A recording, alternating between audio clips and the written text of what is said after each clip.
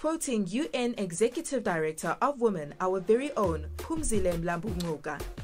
There is no greater force for change, for peace, for justice and democracy, for inclusive economic growth than a world of empowered women.